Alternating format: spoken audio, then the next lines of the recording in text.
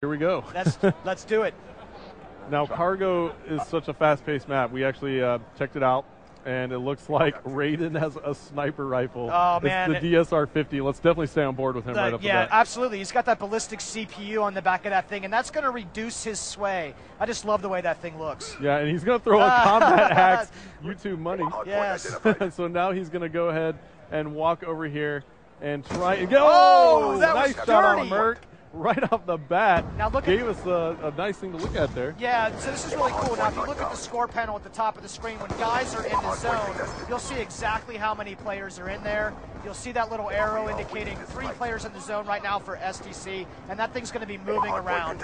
And that's how we're using the score panel to let you know the state of the game mode. Right, so as we see on Raiden's screen, the hard point is in the office here, and as we take a look on the picture-in-picture overhead map, it looks like this is just chaos here in this area, but it looks like the Europeans have Oh, actually taken great control. We see on the picture-in-picture that all these players are on the objective. So you have three players right now. It's there's an icon there, Vaughn. So uh, that actually tells us that they're, you're on the objective in Right. picture-in-picture mode. That icon is specifically good for indicating how many people are in that zone so you know who to pay attention to. And it's just one of the many features of picture in picture and how we use objectives, the, that objective column, and indicating the state of the game for players. Yeah, now Swanee is on a four kill streak. We'll swap over to him, and looks like he's calling in a score streak right there. It's a lightning Oh, strike. nice hit. Two hit Yeah. lightning strike kill right there. That's right. So he picked up two kills, and now he's on a six kill streak. And look at that shot! What a shot that was! Oh, so Taking dirty. out Twiz too. Twiz was scoped in with a sniper rifle,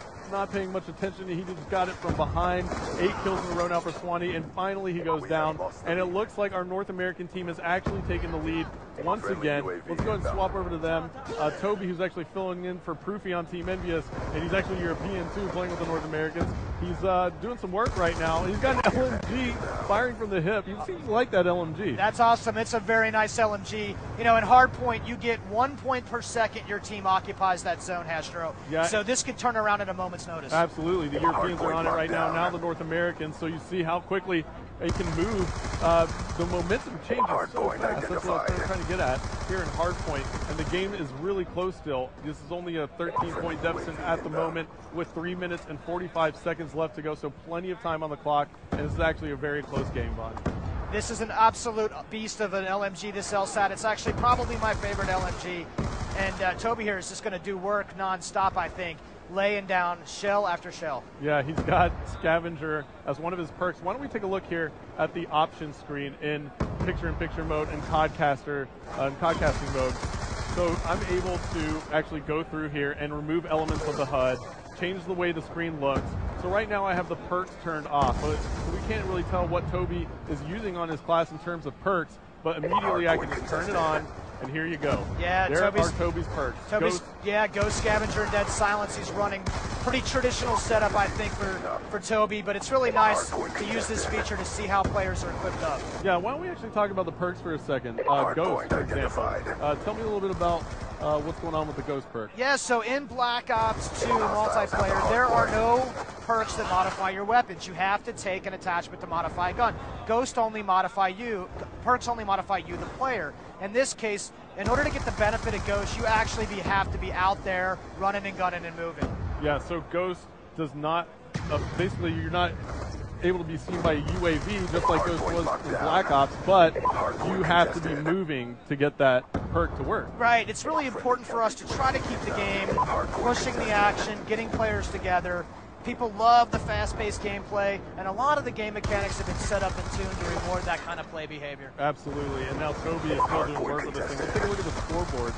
And he's 11 and 9 right now with an LMG. That's actually not that bad. How do you like the design of the new scoreboard? Um, I mean, the scoreboard's amazing here. So, you know, as a, a caster, it's very important to be able to uh, show information to the audience as quickly as possible. And I know all of you at home are actually quite appreciative of, of this as well. You can see how much time is left in the game.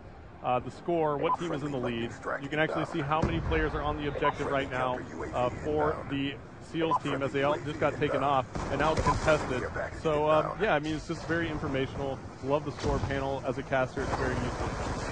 I was really surprised right there that Toby didn't check that lane before. He saw that contested icon. There was only one spot that player can be.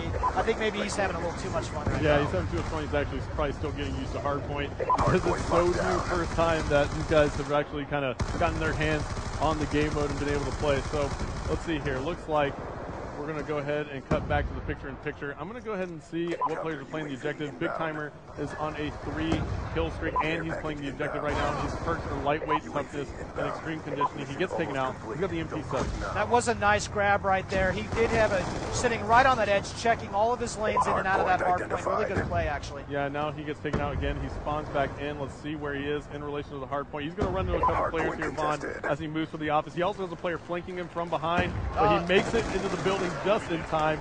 And now he's got, also got the laser sight attachment on it. Yeah, And it looks like somebody just made a big play. Let's see if we can find him. Let's pick out Quiz at the moment. really big play right here for the combined U.S. team. Those seals 136-84 right now with 20 seconds to play. Awesome, awesome game. Really fun to watch. Very good. Good job to all of our players.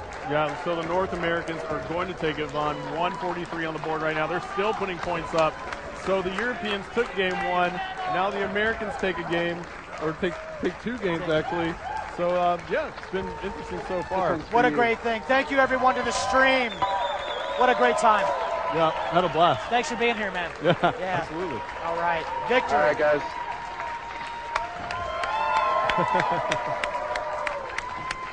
Look at that optic kill Pumped. cam. Got Optic Gaming over here going bananas. All right, guys. We're gonna play some domination next. we're gonna go domination on aftermath.